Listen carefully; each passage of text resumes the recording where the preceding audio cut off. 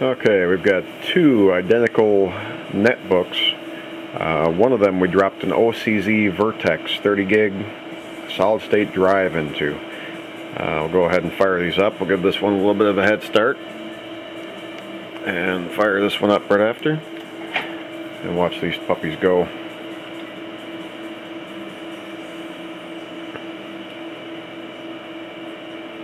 So you can see the one on the left's already got uh, the bars going across. The one on the left is running Starter Edition. The one on the right is running Professional, uh, Windows 7. Uh, they both have 1 gig of RAM, same chipset, same Atom, the Intel Atom N450 CPU.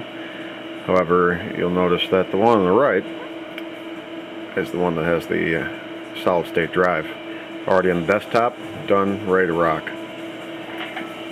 The one on the left, still thinking about it. If you look at the uh, Windows Experience Index, you can see here,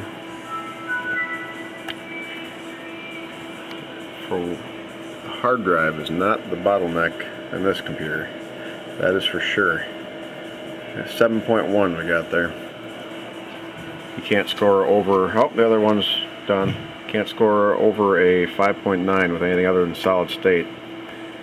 And that's it.